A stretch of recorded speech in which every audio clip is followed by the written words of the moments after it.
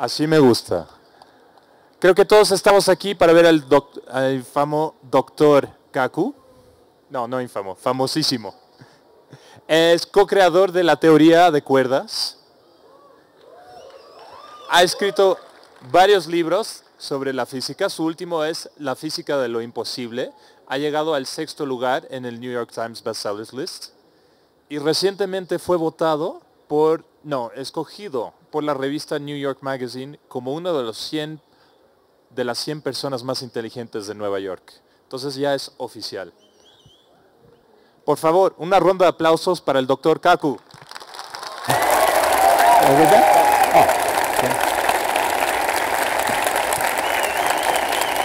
Thank you very much. Thank.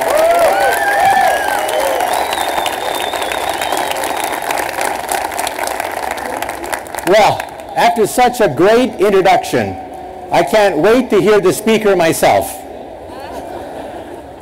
Let me say I have a confession to make.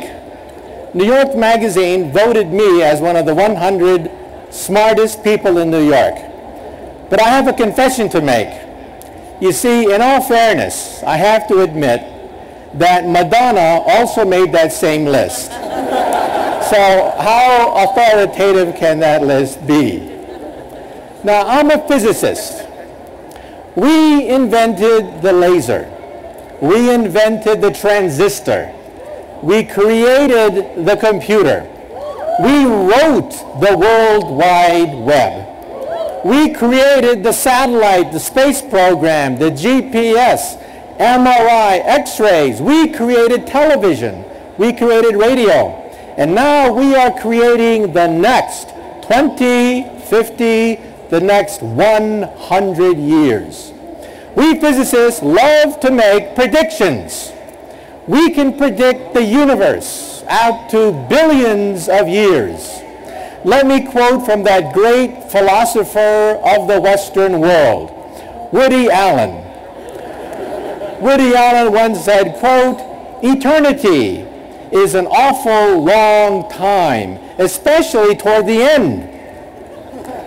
Let me quote from that other great philosopher of the Western world, the baseball player Yogi Berra. He once said, quote, prediction is awfully hard to do, especially if it's about the future. Well, today, I'm going to predict the future. I've interviewed over 300 of the world's top scientists to give you the best prediction of the future. Now, sometimes we physicists can make a mistake. When we physicists created the internet, one physicist made a prediction. He predicted that the internet would become a forum of high culture, high art, and high society. Today we know that 5% of the internet is pornography. But that's because teenage boys log on to the internet. Just wait until the grandmas and grandpas get on the internet. Then 50% of the internet will be pornography. Okay? And before I begin, let me tell you a short story of what happened over 200 years ago in Paris, France. There was the Great French Revolution. And one day there were three gentlemen about to have their heads cut off at the guillotine. There was a priest, a lawyer, and a theoretical physicist, just like me, about to have our heads chopped off.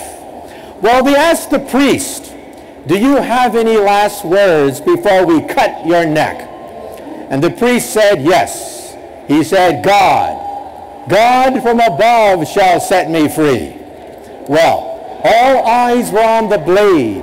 They raised the blade. The blade came down, swish, and it stopped right before it hit the neck of the priest. Well, the mob had never seen this before. And so the mob said, let him go. God has spoken today. And now let's see about the lawyer. Well, they put the lawyer's head on the chopping block, and they asked him, do you have any last words before we cut your head off? And the lawyer said, yes. He said, the spirit of justice. Justice shall set me free. Well, they raised the blade. The blade came down, swish, and stopped right before it hit the neck of the lawyer. Well, this time there was dancing in the streets of Paris. People were saying, God has spoken. Justice has spoken today. And now let's see about the physicist. Well, they put the physicist's head on the chopping block. And they asked him, do you have any last words before we cut your head off? And the physicist said, yeah, yeah, I got some last words. And he said, you know, I don't know too much about God. And I know even less about the law. But I do know one thing. If you look up, you'll see that the rope is stuck on the pulley. and then he said, if you remove the rope, the blade should come down real good. Big mistake. Big mistake. The rope came down, the blade came down, and the poor physicist's head came down. And the lesson is, sometimes we physicists have to know when to keep our mouths shut. but nonetheless, let me now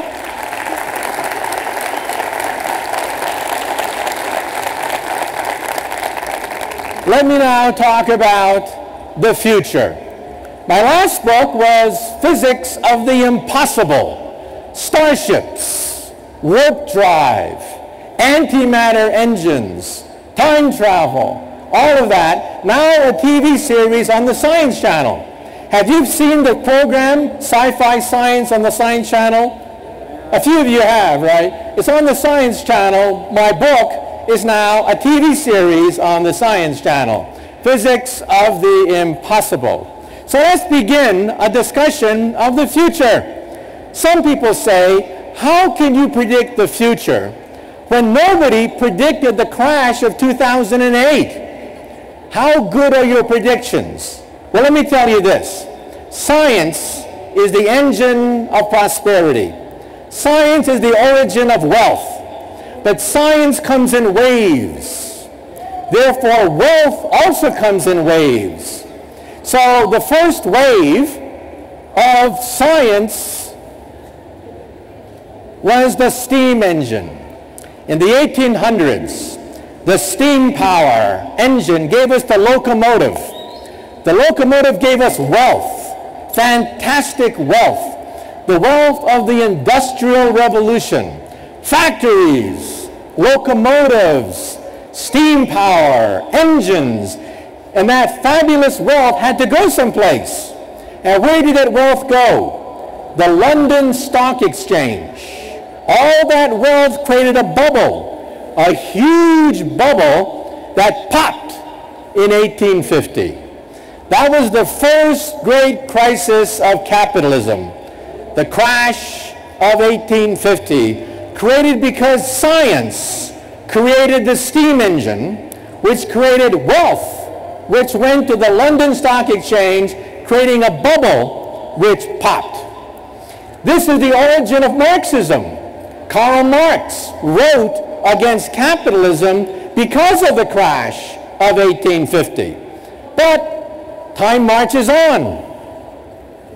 The next great invention was electricity, the gasoline-fired car, the automobile. That created fantastic wealth of the 1920s.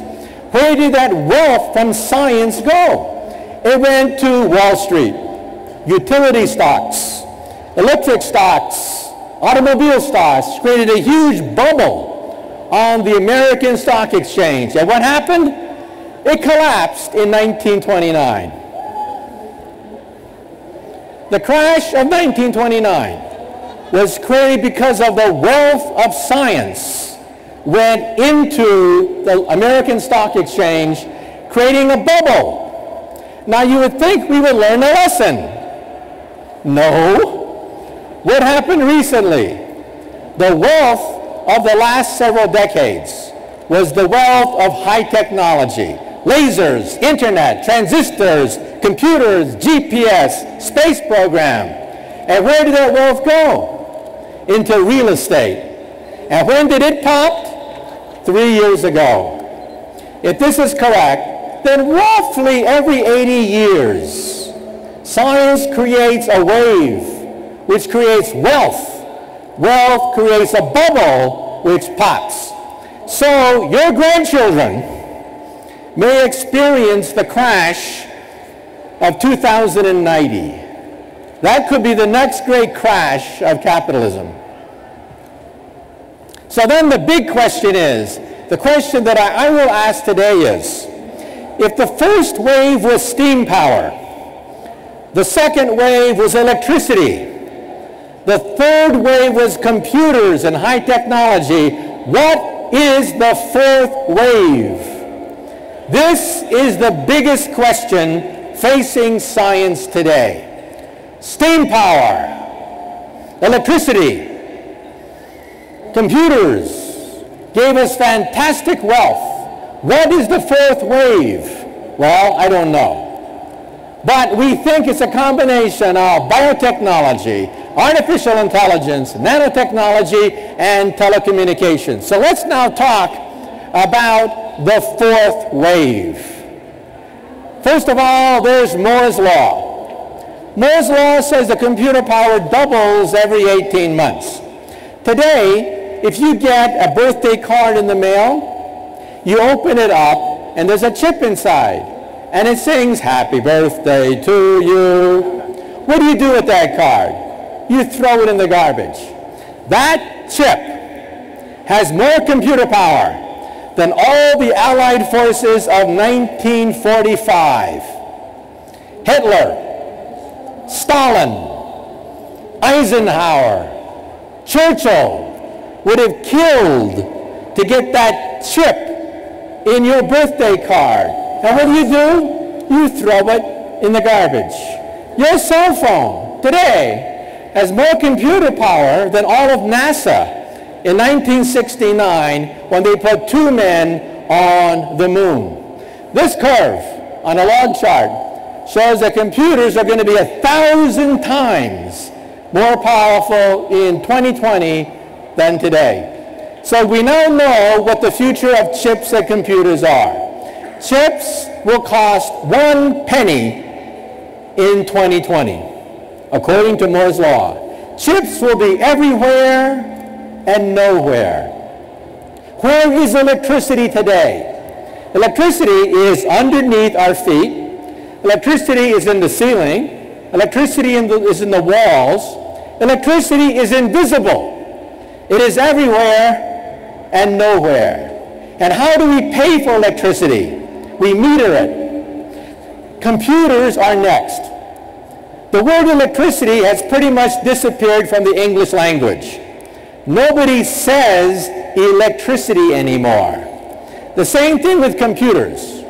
The future of computers is to disappear. The word computer will disappear from the English language.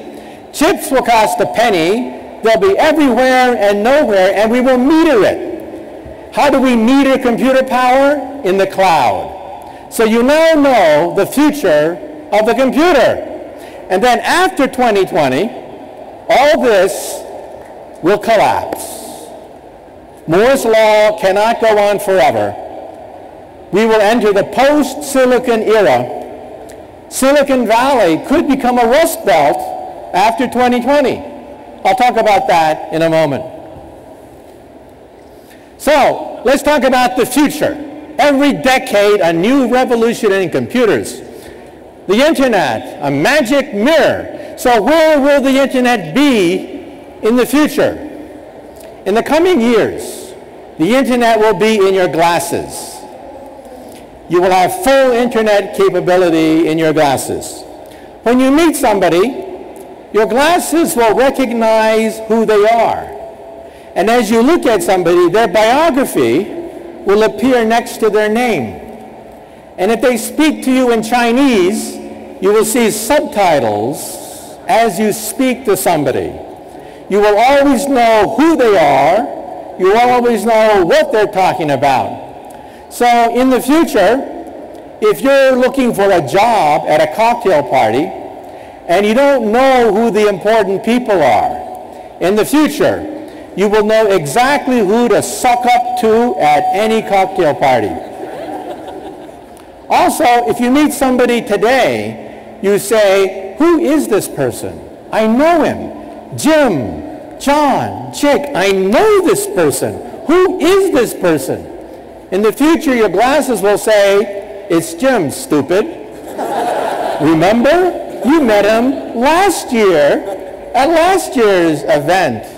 Well, maybe you don't want to look like a refugee from Star Trek. In the future, they'll be fashionable. Children will buy these things. Children are the engine behind this. This image will be beamed to the retina of your eye. This is the future of email, the future of telecommunications. Fashion models will begin to wear these things. Everyone will have full internet capability. This is the future of your home entertainment center, the future of your home office. You'll have an office inside your glasses. Now you might say to yourself, wait a minute. I don't wear glasses. I don't like glasses. So what do we do for people who don't like glasses?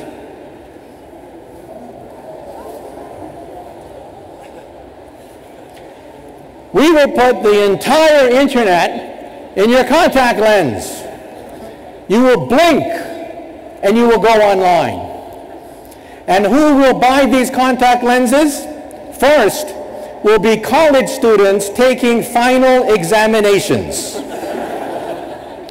they will be the first to buy internet contact lenses. Who else will buy internet contact lenses? Actors, actresses, politicians. In a school play, you don't have to memorize your lines anymore. Everything appears in your contact lens. Who else will buy these things? artists, architects, they will wave their hand and create beautiful works of art.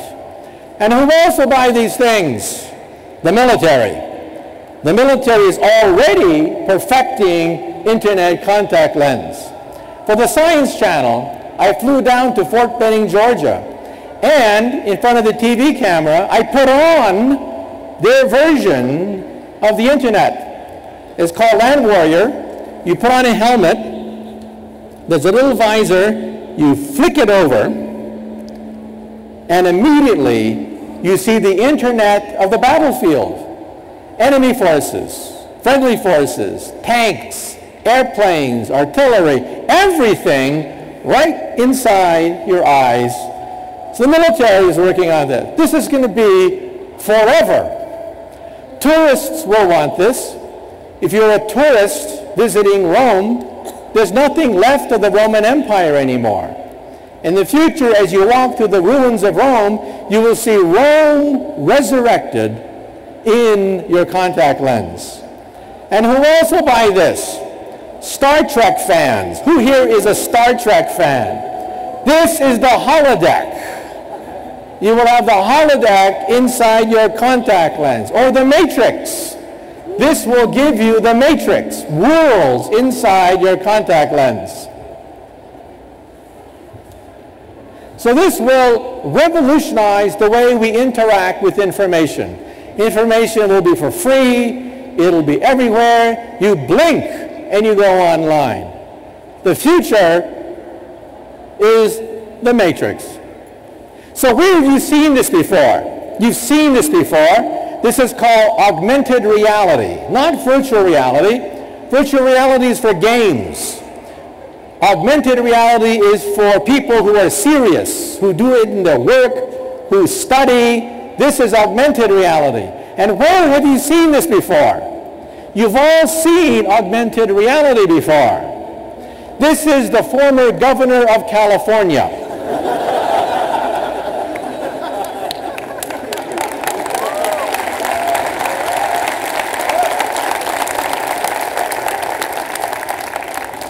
Look at the way the Terminator, robot sees things.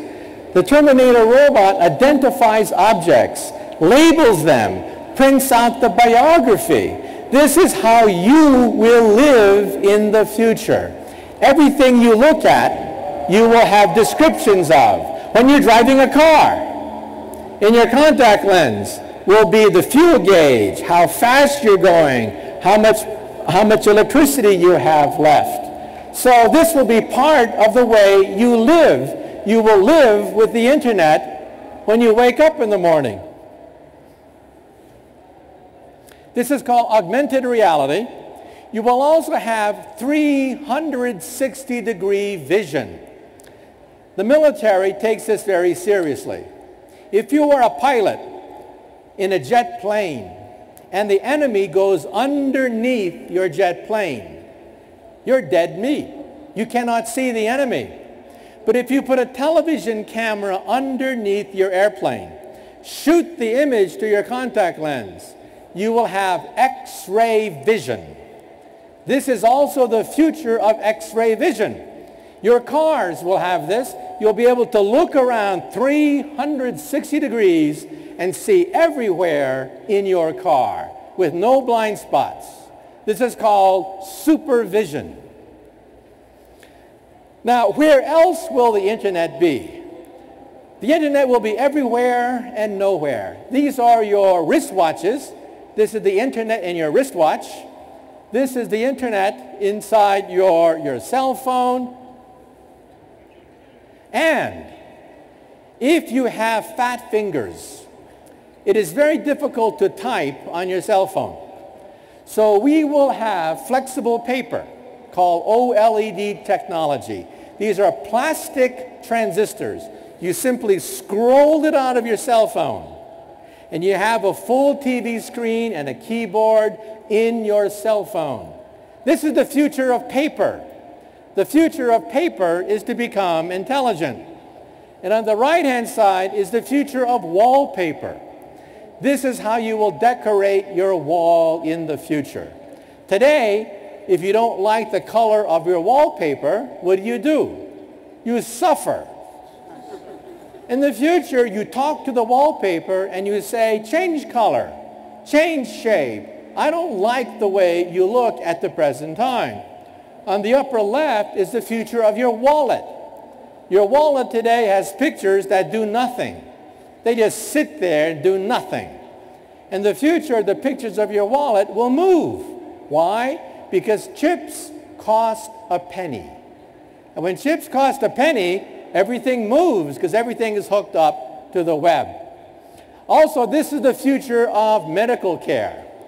You will go to the wallpaper and you'll say, mirror, mirror on the wall. I want to talk to a doctor now. Immediately, an animated doctor will appear and you'll talk to it. And you'll talk about your pains and aches and ailments. And the doctor in your wall is a robot. Is an animated robot called an expert system. And this will reduce the cost of medical care. You will always have a doctor in your wall. You will also have a lawyer in your wall. Most simple law questions will be answered by this lawyer in your wallpaper. This is your living room of the future. This is called the cave. 360 degree panels. You'll be surrounded by 360 degree panels called the wave. And again, the military is perfecting this technology. This is also the future of your love life. Let's say it's Friday night and you have no date. What do you do? We all know what you do. You get stone drunk. In the future, you go to your wall and say, mirror, mirror on the wall. Who's available tonight? Your wallpaper knows who you like, contacts everybody who's also lonely looking for somebody, and will set up a date. And then you go on a date, you come back that night, and you say, mirror, mirror on the wall, my date and I want to see a movie like Casablanca. Except remove Humphrey Bogart's face and put my face instead. remove Ingrid Bergman's face and put my date's face instead. Chips will cost a penny in 10 years. Already, chips are being placed in toys. Toys are becoming intelligent. And this is creating a problem for the English language. We have a contradiction in terms called smart Barbie dolls. That's a contradiction in terms. Another contradiction in terms is Microsoft works. that is also a contradiction in terms.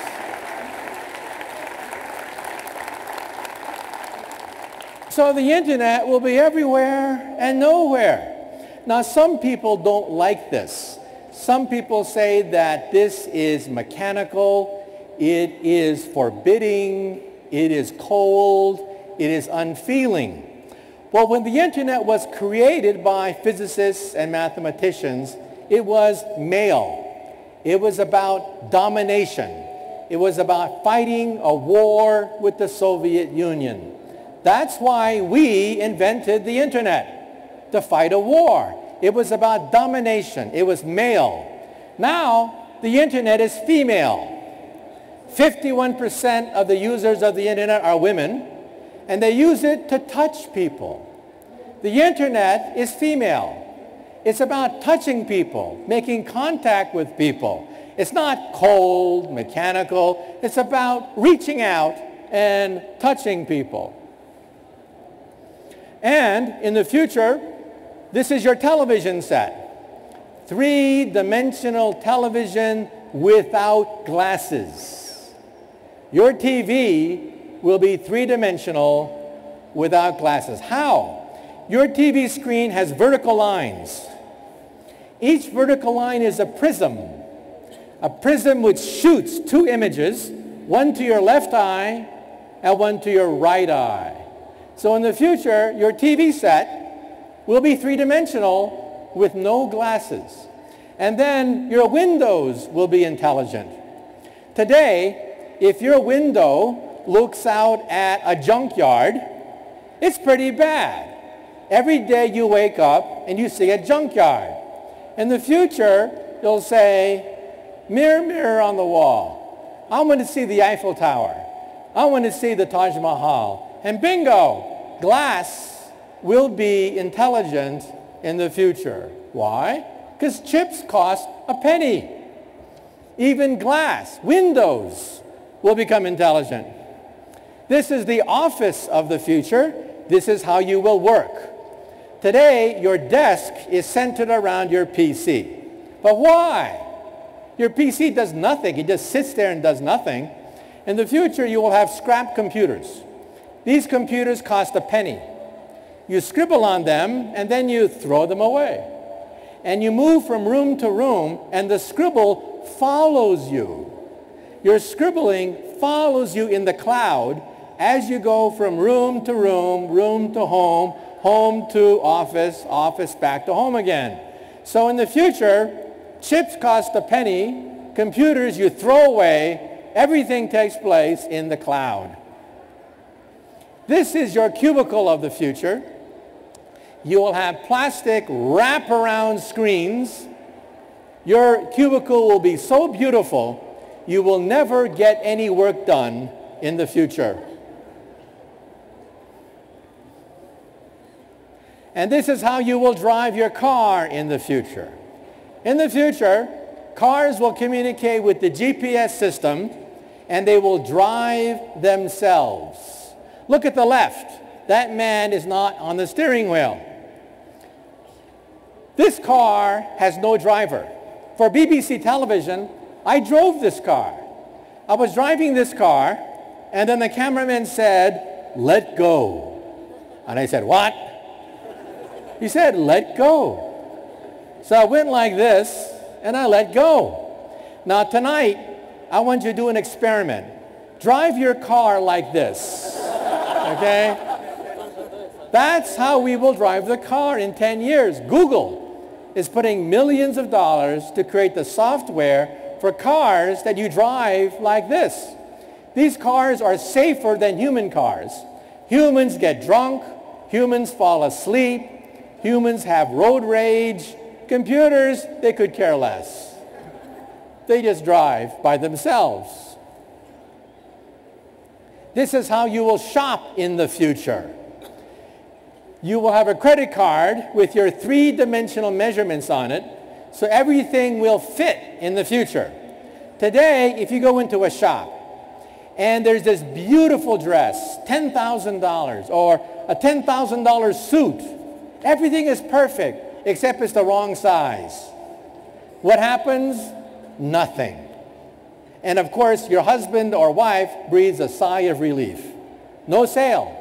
In the future, you take out your credit card, you stick it in with your three-dimensional measurements, it punches out exactly a dress or a suit that fits your body. And then you will get the bill. In the future, everything will fit in the future. This is called mass customization. And what is it leading to? It, this is leading up to something called perfect capitalism. You will always know exactly what everything costs.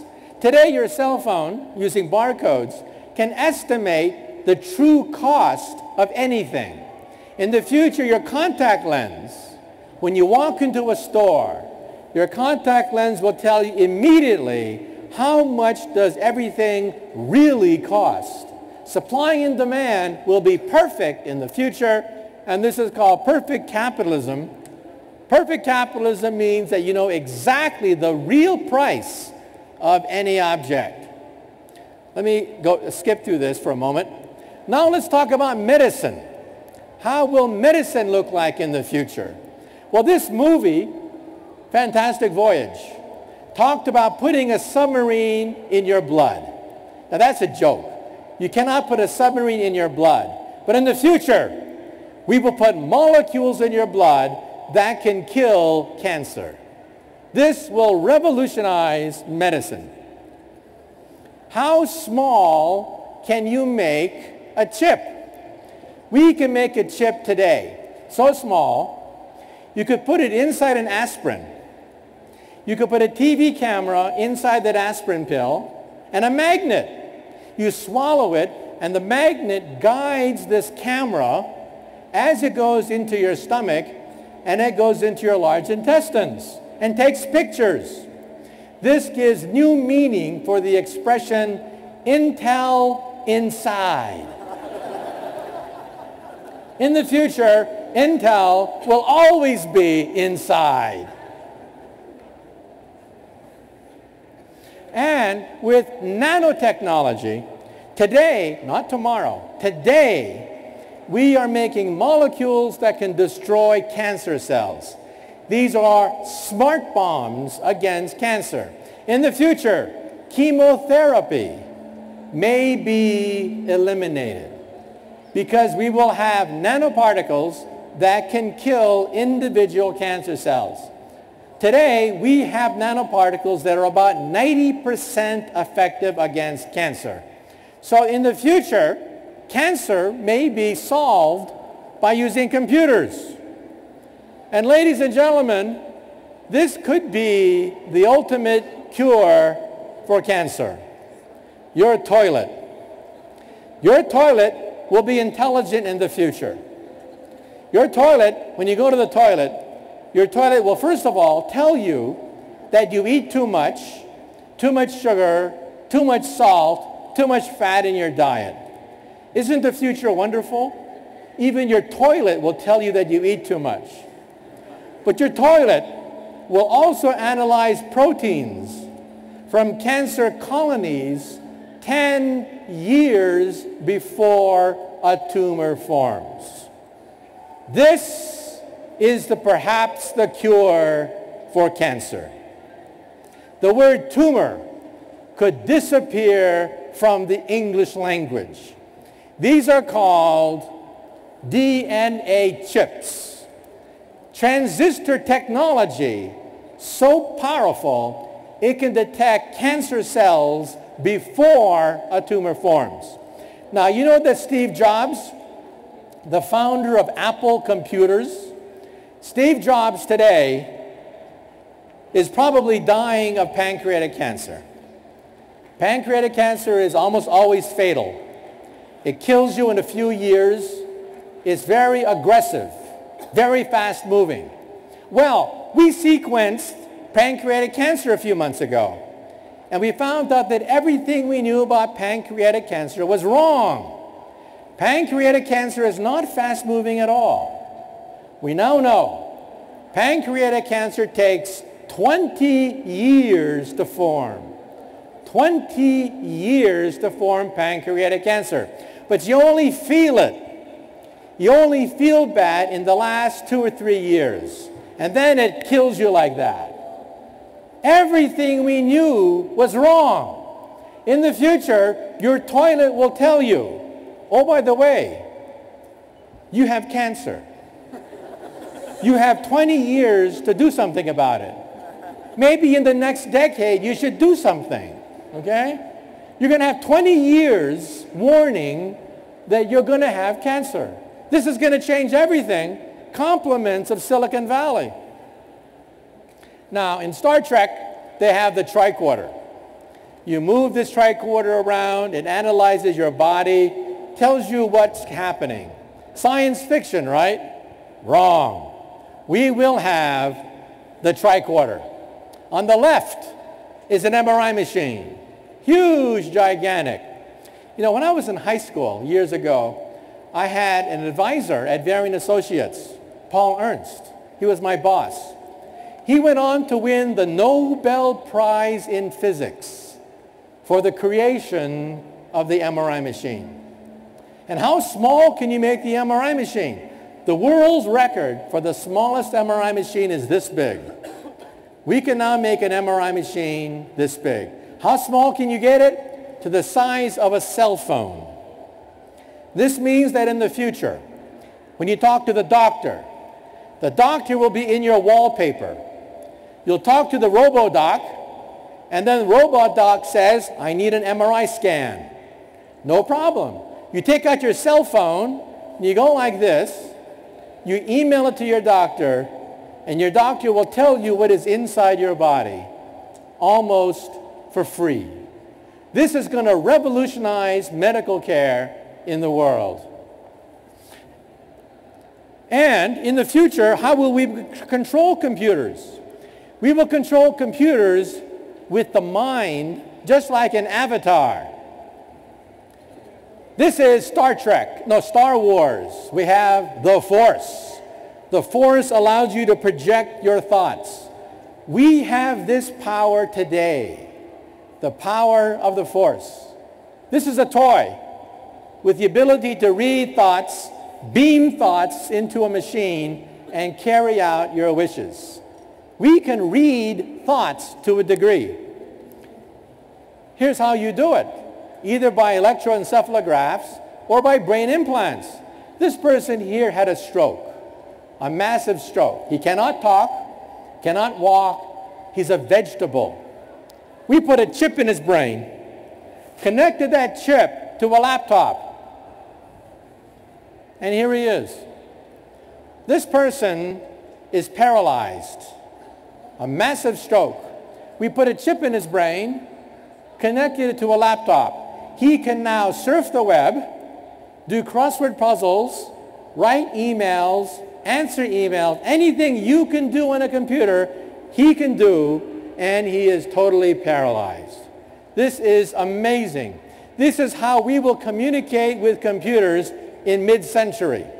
By mid-century, we will simply think and access computers around us.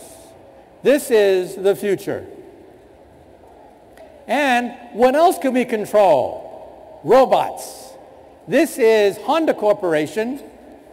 Honda Corporation puts a helmet on a worker, connects the helmet to Asimo the robot, and Asimo the robot can now be controlled by a human. Where have you seen this before? in a movie called Surrogates with Bruce Willis. In that movie, Bruce Willis mentally controls a robot. This is a power that we have today in Japan. We can also even read minds to a degree. When you tell the truth on the left, that's what your brain looks like when you tell the truth. Nothing much happens. But when you tell a lie, first of all, you have to know the truth. Then you have to create the lie. And then you have to make sure that it is consistent with all the other lies you've been telling all these years. That's a lot of brain power. When you tell a lie, your brain lights up like a Christmas tree. So we can actually use this as a lie detector. And what else can we do? With the power of computers, we can read your genome for $1,000. For $1,000, we can read every single gene in your body. This is going to revolutionize medicine. And what will we do with this information? We will grow new parts of the body. This is an ear. The ear is made out of plastic. We put ear cells in it which grow into the ear. Then the plastic dissolves, is biodegradable, leaving a perfect ear from your own cells. This is bone on the left, ears and noses on the right from your own cells. There's no rejection mechanism. This is a human bladder grown from a young girl's own cells without any rejection mechanism whatsoever. Now let's put on the video. And in the video, it talks about a visit to the doctor's office 50 years from now when we grow heart valves. We can grow heart valves today. So watch this video.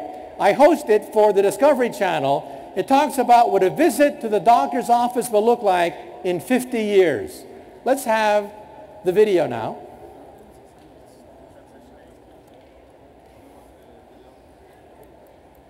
The video is called 2057. It's available on the web or through discovery.com.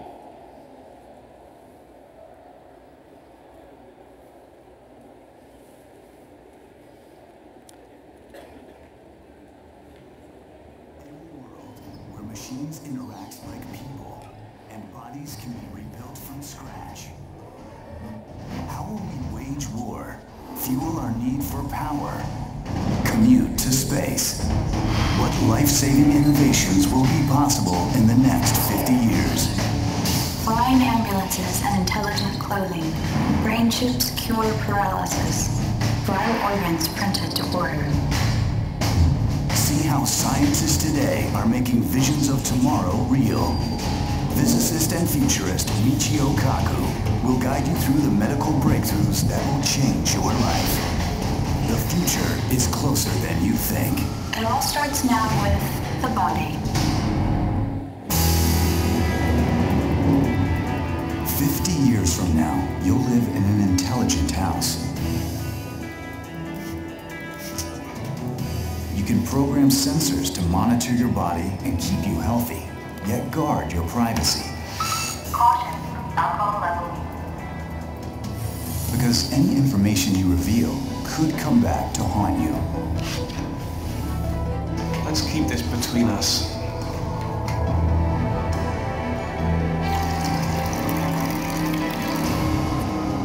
Computer chips connect you to the entire city including your insurance company. The news is you'll live a lot longer because an agent gives you a remote physical every three days. The bad news? You'll have no secrets. Wait, mucous membrane of the mouth? Send health memo immediately. Bonjour, Monsieur Degas. Here are a few more tips for your dental care. Brush your teeth regularly using the ultrasound toothbrush. Don't give away the fact that Al was partying last night and his premiums will go up as a result. Thanks for your attention. You must be joking. Get the car, please. Alan's clothing looks quite ordinary, but that's deceptive. because woven inside the fabric are dozens of tiny computer chips and sensors monitoring his health. When he puts on his clothing, he goes online. Now get this. If he's ever knocked unconscious, his clothes will automatically identify his coordinates, alert the authorities, and upload his entire medical history before the ambulance arrives. In the future, you will have a doctor in your clothing. When you have a severe accident, brain cells can die within six minutes. The ambulance of tomorrow will not only reach you in time, it will carry a medical revolution that can save your life.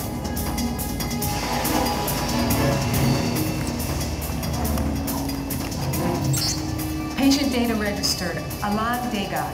Platinum class confirmed. Loss of blood, 35%. I suggest reversible death. Okay.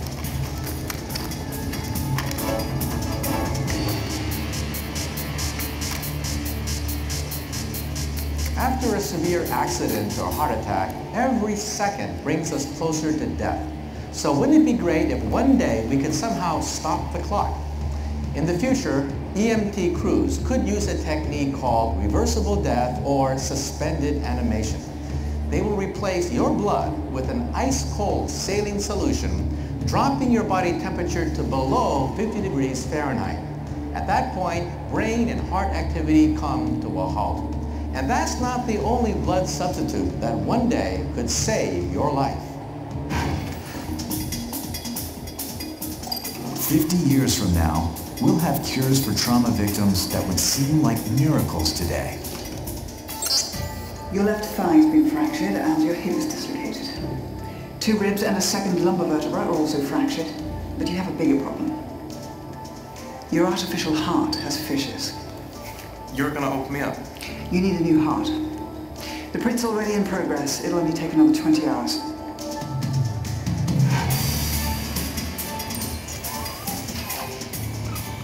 Iris scan identified. Marie Balzac. Status. Cleared for security zone. Have a nice evening.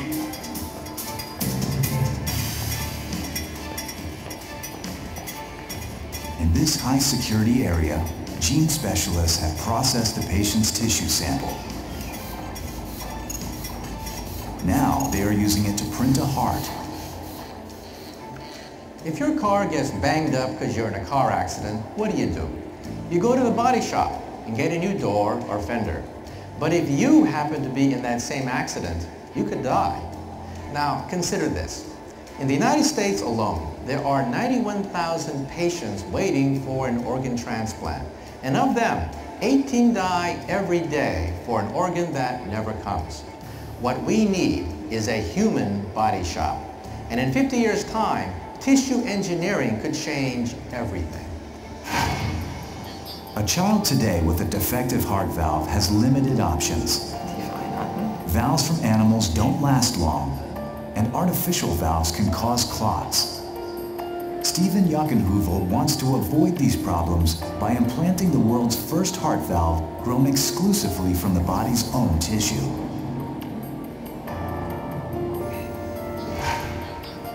Within an hour, he has the rough form of a heart valve, which he places in a bioreactor. Next, he adds nutrients and cells which normally line heart valve walls.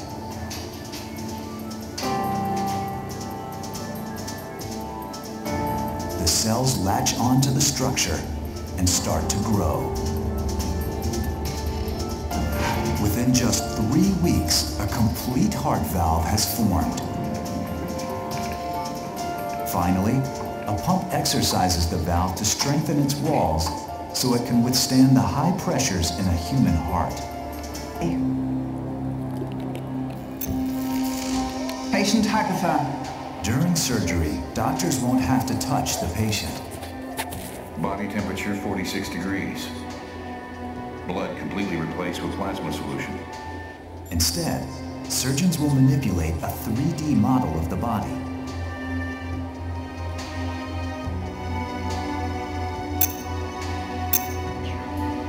These virtual images will revolutionize surgery in the next decades.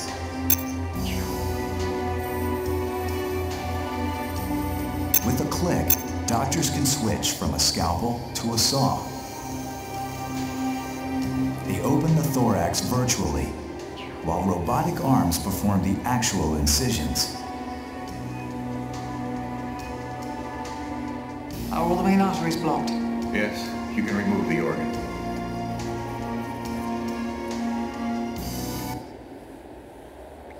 Okay, well, I'm running out of time, but my book, Physics of the Future, also talks about the job market, the economy, which nations will rise, which nations will fall in the future, who will have a job in the future, what jobs are doomed, which jobs are going to be obliterated, and which jobs will thrive, which jobs will dominate the future. All of it in my book, Physics of the Future. And now let me end on one last note. I spoke at the Einstein Centennial several years ago. And it was because of Einstein that we have many of the inventions of today. My favorite Einstein story is this. When Einstein was an old man, he was tired of giving the same talk over and over again. So one day his chauffeur came up to him. And the chauffeur said, Professor, I'm really a part-time actor. I've heard your talk so many times. I've memorized it. So why don't we switch places? I will put on a mustache. I will put on hair, a wig, and I will be the great Einstein, and you can rest and be my chauffeur. Well, Einstein loved the joke, so they switched places. And this went on very well until one day a mathematician in the back asked a very difficult question. And Einstein thought, oh, the game is up. But then the chauffeur said, that question is so elementary that even my chauffeur here can answer it for you. anyway, thank you so much. You've been a great audience, and we'll take a few questions. Thank you so much.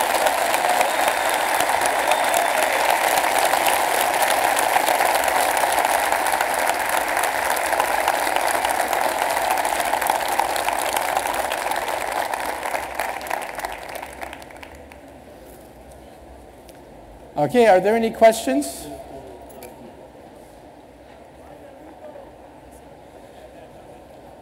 Hello, it's a pleasure to, to meet you. Okay, I have a question. If everything is getting more intelligent, what's going to happen to us? Because uh, it seems that we are not longer needing um, doctors, we're not needing lawyers, so, and, and we're living more and more time with this uh, medicine advances. So what's going to happen to us? What's uh, in what are we going to spend the time? Just in pleasure? Just in having fun? I mean, what's you show us the technical aspects, but what's about how we are going to evolve in, in, in human interactions? The question is, what are we going to do as the robots get more intelligent? Are we all going to take a rest and have a good time? Or will the robots put us in zoos, make us dance behind bars as they throw peanuts at us when we're behind a zoo? What's going to happen? Well, realize today that robots, you saw Asimo in the video, I mean in the, in the slideshow. Asimo is the world's smartest robot. Asimo can walk, run, dance. He dances better than me. I've been on several BBC programs with Asimo. How smart is Asimo the robot? Asimo has the intelligence of a cockroach, a stupid cockroach, a lobotomized, stupid cockroach. Our most advanced computers can barely walk across the room. So we have a long ways to go before they replace us. But eventually, who knows when that may happen. I've had a chance to interview some of the world's greatest scientists building robots at MIT, Stanford, and there are three ways we can deal with smart robots. One group of scientists I interviewed said that we should allow them to take over. They are our children. They are our evolutionary successor. They are the natural byproduct of evolution. They're smarter than us, stronger than us. So why not let our children take over is the natural scheme of things. Then another group of scientists I interviewed told me, quote, over my dead body are these tin cans going to take over. I'm going to get my shotgun if a robot becomes too smart. Their attitude is to take a chip and put the chip in the brain of a computer that will shut them off automatically if they have murderous thoughts. A chip in the brain to automatically shut down super intelligent computers. Then there's a third possibility. The third possibility is to merge with them. Why not wake up one day being Superman, having superpowers, X-ray vision, super intelligence? What's wrong with that? Living almost forever in a body that is enhanced genetically and robotically. So some people say, don't fear them. One day we should merge with them. But anyway, in my book, Physics of the Future, I list all the various possibilities of what's going to happen as robots become more intelligent. But it's not going to happen soon. Like I said before, if you're lucky, you will see a robot with the intelligence of a smart cockroach. That's not for a while. Any other questions? Here. Okay. My question goes, um, if the medical advances uh, enhance uh, people's lives, what will happen with, growth, with population growth and what will happen with energy production? Okay, what happens when we live longer? What happens with energy to meet the needs of a growing population? Well, first of all, we are now discovering the genes that control the aging process. Today, we can double the lifespan of almost any animal. Take any animal, yeast, insects, spiders, worms, fruit flies, rabbits, dogs, cats, and now monkeys, we can double their lifespan. That's today, not tomorrow.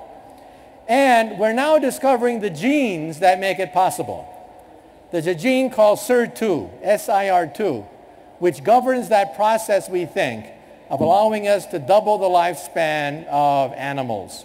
So we're discovering the genes that, that control our aging process. In the future, the genome will only cost maybe $100 to sequence your genes on a CD-ROM. We will have millions, billions of CD-ROMs with your genes on it. We will take the genes of old people, take the genes of young people, and subtract. Therefore, we will find the genes that control the aging process. And we are 98.5% identical to a chimpanzee genetically.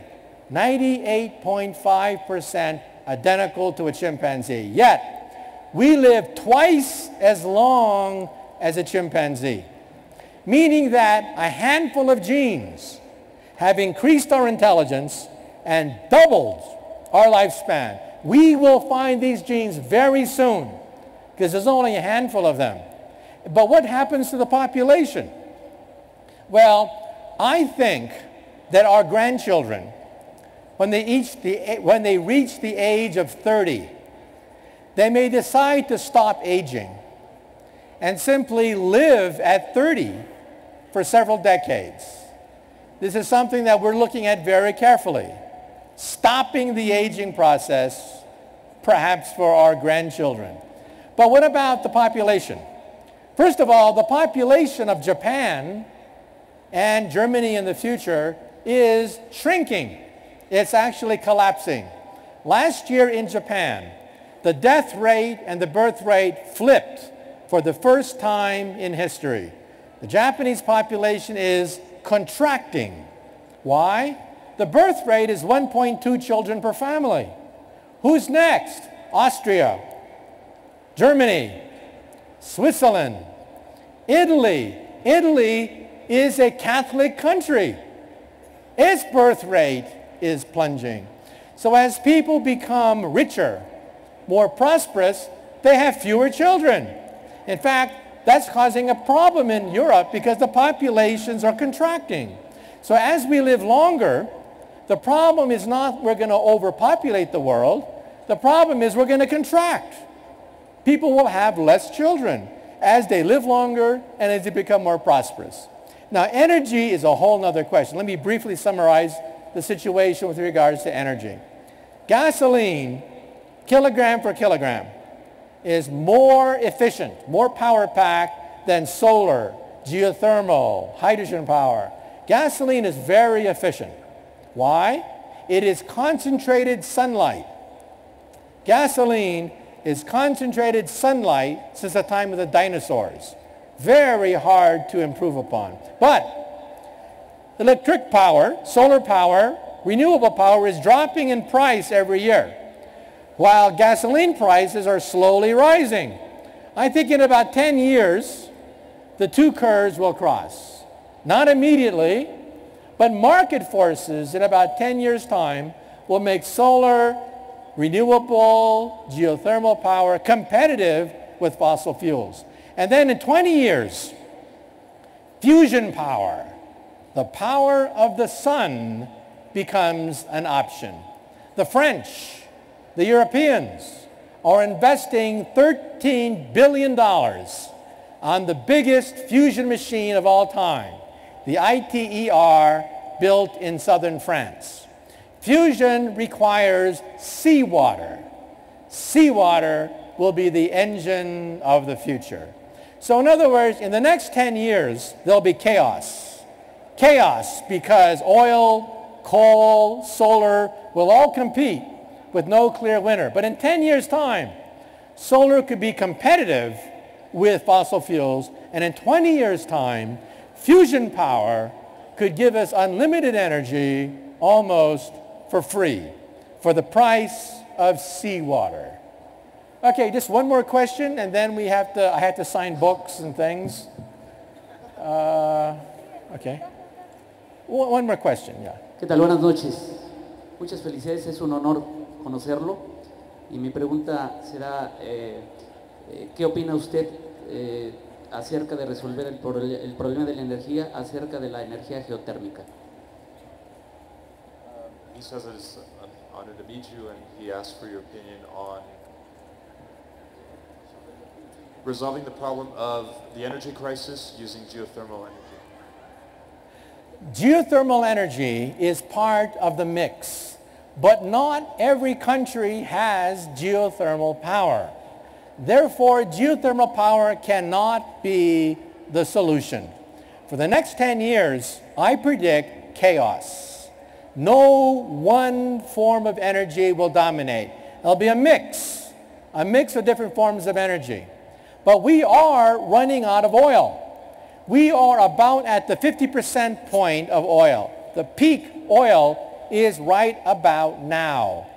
In other words, we have taken out about 50% of the Earth's oil. Roughly 50% of the Earth's oil has been taken out already and then we're going to go downhill from now on, which means that oil prices are going to be erratic. We will always have oil, but oil prices will rise as we go down the curve. So that's why I think that the next 10 years there'll be chaos. But after 10 years, I do think that solar power, because of tax credits, mass production, efficiencies, breakthroughs in science, will become competitive with fossil fuel technology, but not immediately. And then like I mentioned, in 20 years' time, fusion power is an option. Fusion power has almost no nuclear waste. What is causing the problems at Fukushima, Japan today? It is nuclear waste. Nuclear waste is hot. Nuclear waste causes the meltdown. Why do we have three meltdowns in Japan right now? is because waste, nuclear waste, is hot even after you shut down the reactor. That's why we have three nuclear meltdowns. Fusion plants do not melt down in the same way. And so I think that on a 20-year time frame, fusion power becomes an option. Okay? Okay, well, I have to end it now, so thank you so much, and I'll be uh, signing books and shaking hands afterwards. Thank you so much.